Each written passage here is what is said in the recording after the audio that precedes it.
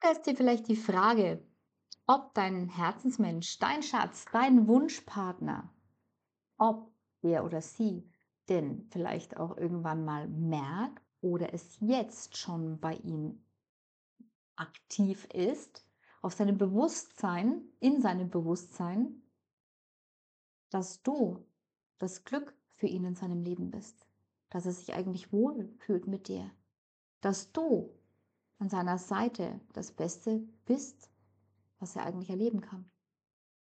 Und da stellen wir jetzt mal die Frage fürs Kollektiv, ob bei deinem Herzensmund, bei deinem Herzensmund, ja, bei deinem Herzensmenschen das in seinem Inneren bekannt ist, äh, ja, auf der Bewusstseinsebene. Wir schauen mal nach. Ihr Lieben, ich danke euch von ganzem Herzen für eure Herzlichkeit hier auf meinem Kanal. Danke für all eure Kommentare. Danke für euer Sein. Und die Legung haben wir wieder aus dem Kollektiv. Und ihr könnt natürlich jederzeit sehr, sehr gerne immer wieder Fragen fürs Kollektiv schreiben, für eine Kollektivlegung. Und ihr wisst, das ist dein Gegenüber, männlich wie auch weiblich. Wir sind im Kollektiv. Kollektivleben können nicht für jeden zutreffen. So, wir schauen nach bei deinem Herzensmenschen. Merkt er denn, oder ist es ihm vielleicht schon bewusst, dass du das Beste eigentlich bist, was er jemals bekommen kann oder hätte haben können? Da schauen wir jetzt mal nach.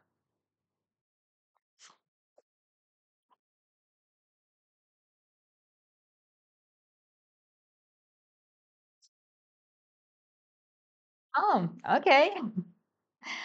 Let's go. Wir haben neun der Kelche. Also wir haben hier schon wirklich ziemlich viel Gefühl mit dabei. Also da ist was da. Was genau sehen wir dann natürlich? Ähm, bei dem Herzensmenschen. Da ist eigentlich, ne?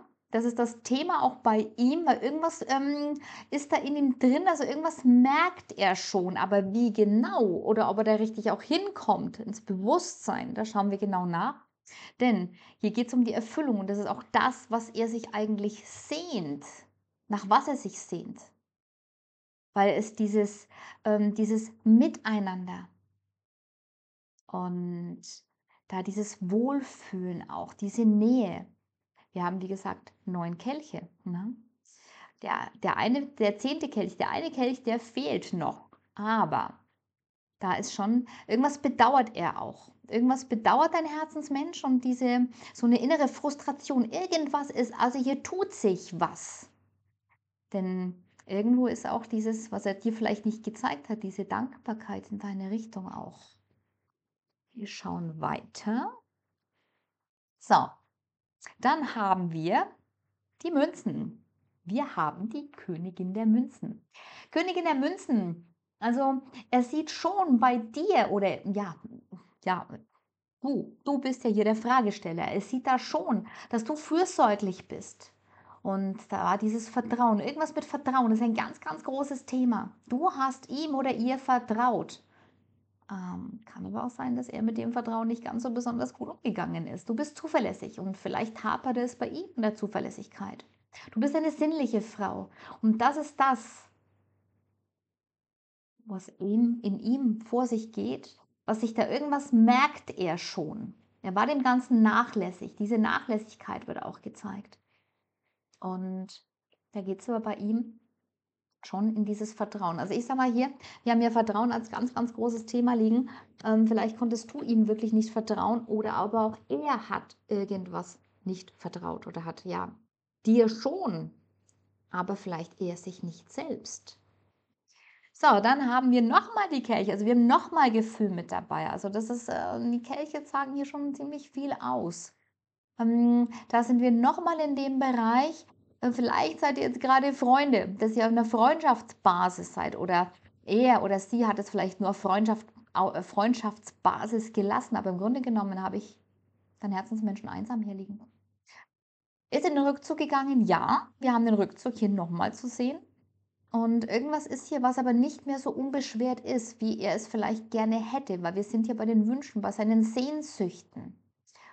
Und vielleicht ist es auch so, dass er jetzt ziemlich viel ähm, im Draußen unterwegs ist, ne? Gemeinschaft mit anderen, diesem Feiern und immer wieder das Draußen, Da sage ich aber, da ist irgendwas mit, mit Ablenkung hat es hier zu tun, ne? Dass er da nicht hinschauen möchte oder er lenkt sich ab. Also irgendwas will er hier ähm, nicht anschauen. Wo, er läuft vor was weg. Aber irgendwas merkt er auch, irgendwas tut sich hier. Also wir haben so ein bisschen kleines Durcheinander bei deinem Herzensmenschen. Dann schauen wir mal, was wir noch genauer bekommen.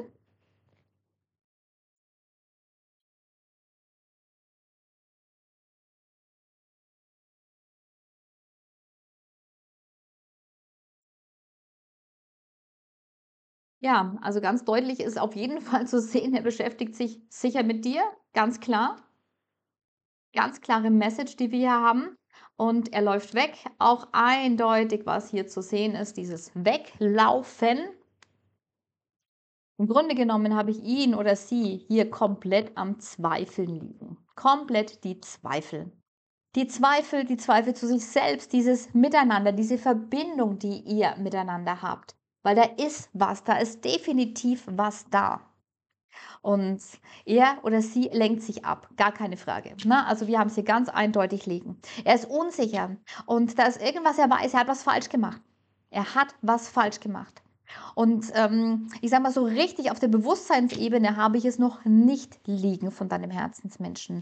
Aber ich habe ihn in seinen Gedanken. Ich habe da mal so zwar kurze Abbrüche liegen, was die Gedanken zeigen. Kurze Abbrüche, ähm, ja, wenn es um, um, dich geht, es hier definitiv. Ne? Er versucht es zu drängen. Er ist in den Rückzug gegangen. Und ähm, ja, Vertrauen ist ja ein ganz großes Thema. Vielleicht was wirklich weiß. Er weiß, was er wirklich, was in ihm angekommen ist, dass er dich enttäuscht hat. Vielleicht hat dir nicht das alles. Sagt sich, okay, ich hätte hier noch äh, anders machen können, irgendwas gut machen können, weil es läuft alles nicht so, wie er es sich eigentlich hier vorgestellt hat. Und da kommen wir immer auf die Herzebene. Da kommt immer eine Herzberührung und dann, das tut ihm richtig weh. Ich habe hier wirklich einen Herzschmerz liegen.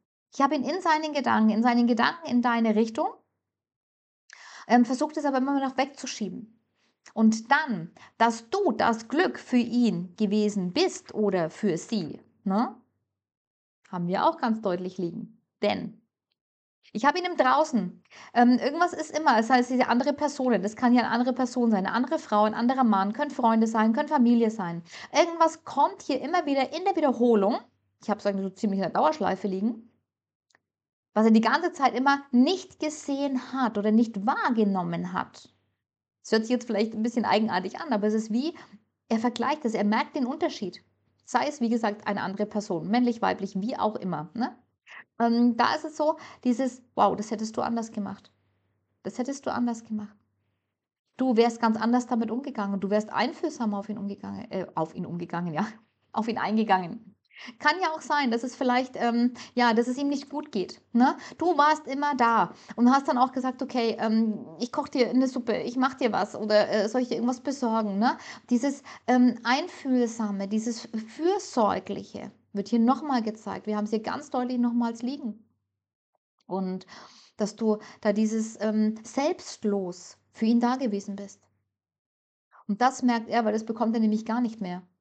Weil hier habe ich ihm draußen von anderen Personen, ne, ähm, habe ich das dann liegen, also egal mit wem er Kontakt hat, deswegen sage ich jetzt andere Personen, ne? ihr wisst ja, wandelt es bitte für euch und für eure Situation um.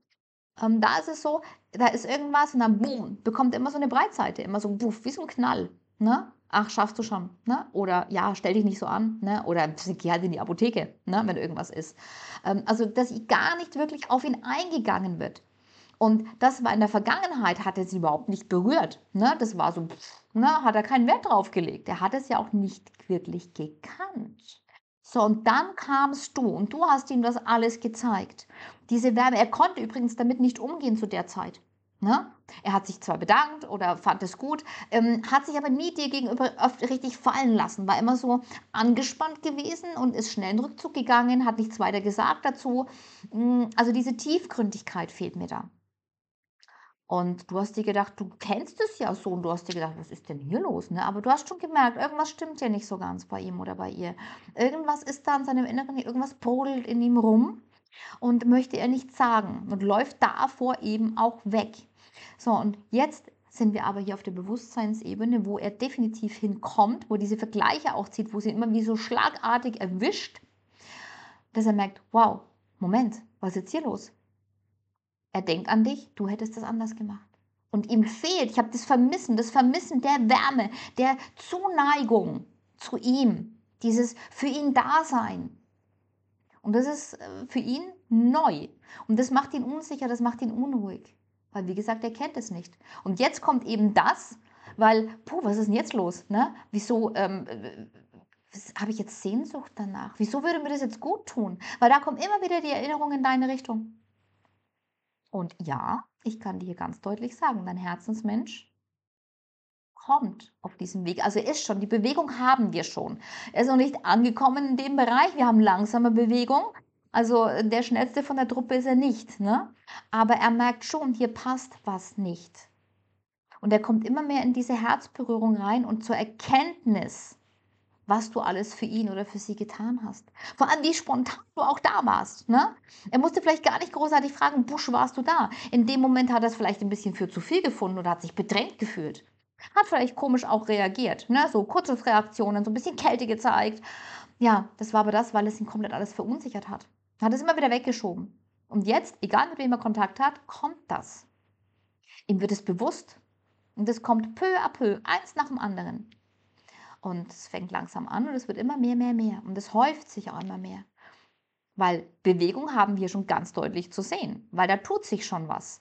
Weil ich habe ihn sehr nachdenklich liegen. Wo er eigentlich jetzt nicht wirklich so der, der, der, der Nachdenker ist. Ne? Ach, hier komm und passt und sowas. Ich habe so eine Veränderung bei ihm. Ich habe eine tiefe Veränderung bei ihm. Für ihn ist es was riesengroßes. Ja, und wie gesagt, die Ablenkung hier immer wieder das draußen, die Öffentlichkeit, klappt aber auch nicht mehr, weil er merkt hier auch, der hat gar keine richtige Lust mehr so richtig hier so in diese Unternehmungen. Ne? Teilweise ist es so, er macht es wie ähm, Gruppenzwang so in der Richtung. Ne? Mm, ist aber mehr, ich habe ihn mehr verschlossen, ich habe mir diesen, diesen Rückzug auch, ich habe ihn sowieso allgemein verschlossen in seinem Inneren. Und gut geht es ihm auf gar keinen Fall, ja, aber wir sind auch bei der Frage, ähm, ob ihm das bewusst wird, dass du das Glück für ihn gewesen wärst. Und da sage ich dir ja. Auf diesem Weg ist er oder sie. Denn wir haben hier komplett Bewegung in diese Richtung. Und das wird auch, das vertieft sich auch immer mehr. Ich habe dieses Vertiefen und das sind seine oder ihre eigenen Wünsche, weil er merkt selber seine Wünsche. Er vertraut dem Ganzen zwar noch nicht so ganz, weil er sich selber ja noch nicht wirklich vertraut. Da haben wir das Thema. Er vertraut sich selbst nicht wirklich kommt aber immer mehr in diesen Bereich rein, dass das Ganze vertieft wird. Die Liebe, die Gefühle, die Sehnsucht, das, was er vermisst, dich, dein Sein, wie du bist. Dieses ähm, Selbstlose, dieses Fürsorgliche. Äh, wie gesagt, hier kann es auch sein, dass es ihm in dem Moment ein bisschen zu viel gewesen ist, weil es nicht, äh, das war einfach zu viel, zu viel Druck. Das war, oh Gott, was ist jetzt los? Kenne ich nicht, ne? Ähm, weil ich ihn so ein bisschen von den Gefühlen her immer so auf diese Hab-Acht-Stellung habe. Weil immer dieses Abweisende, weil bloß nicht verletzt werden. Ne? Das ist aber sein Thema, das ist sein Vergangenheitsthema. Ähm, und da ist es so, wie gesagt, ich kann immer nur sagen, was in den Karten jetzt gezeigt wird. Ne? Aber da ist das, was er immer wieder weggeschoben hat, ist jetzt so dieses Wow, das tut eigentlich richtig gut. Es hat richtig gut getan. Und irgendwie dieses, boah, ich vermisse das jetzt. Mir fehlt es. Also weil ich bin wirklich da in diesen, immer so diese kurze, kurzen Etappen immer total verwirrt habe. Also wirklich so verwirrt, dass ihm dann vielleicht auch irgendwas runterfällt oder so. Oder so, boah, was ist jetzt los? Dieses kurze Schütteln, ne? Weil ich habe ihn so in seinen Gedanken schwelgend liegen, wo jetzt nicht wirklich der Denker ist, ne? Wo er sich selber auch immer so ähm, vor sich selber auch erschrickt. Aber wir haben die Bewegung, wir haben die Veränderung liegen, ja er ist auf dem Weg dorthin. Weil, wie gesagt, angefangen hat es schon. Es ist nicht so, das kommt irgendwann ne, nach dieser Kollektivlegung. Nein, ich habe es in Bewegung auch schon. Da hat sich schon was getan. Weil immer wieder mehr die Herzberührung, die Sehnsucht, die habe ich ganz prägnant hier liegen. Ne? Ganz präsent. So, dann haben wir die Acht der Stäbe. Acht der Stäbe. Gut, da wir sind bei der Veränderung, eine komplette Neuausrichtung von deinem Herzensmenschen. Und hier kommt es wirklich in die Aktion. Ähm, Bewegung ja. Und da ist auch so die Bewegung, auch wenn es jetzt ganz noch ein bisschen Stillstand auch ist. Ne? Diese Verzögerung, die gezeigt wird. Wusch, auf einmal löst sich der Knoten, dann geht es rasend schnell, kurz vor dem Ziel. Und äh, da ist eine erfreuliche Entwicklung zu sehen. Wie gesagt, Neuausrichtung, Veränderung, Schnelligkeit und die Aktion. Also wir haben ganz viel Bewegung hier drin. Wie gesagt, alles, was jetzt hier gerade noch ein bisschen im Stillstand ist, ne? was sein eigenes Chaos ist, sein eigenes Durcheinander ist, die Verzögerung, da geht es mal richtig schnell. Und tada, schaut euch bitte das an. Wir haben die Liebenden. Also es passt so perfekt zu der Frage, ähm, der, ja, ob ihm das bewusst wird, du sein Glück. Ja, richtig, wird es ihm definitiv. Denn er oder sie weiß, dass du die Richtige bist. Und vor allem sind wir hier in dem Bereich, nämlich Beziehung, Liebe. Und das ist hier ausschlaggebend. Die Liebenden, hier wird Liebe gezeigt und vor allem die Beziehung, die Werte, er oder sie schätzt und sieht deine inneren Werte und dieses Zueinanderstehen, was immer zwischen euch nicht so ganz funktioniert hat. Und das ist eine unwiderstehliche Anziehung. Eine Herzensentscheidung wird getroffen und mit ganzem Herzen, von ganzem Herzen. Die Anziehung, die Liebe ist stärker als alles andere. Die Liebe hat die größte Macht. Und das zeigt sich hier ganz deutlich. Ihr Lieben, ich danke euch von ganzem Herzen fürs Zusehen und wünsche euch jetzt noch einen wundervoll schönen restlichen Tag. Tschüss!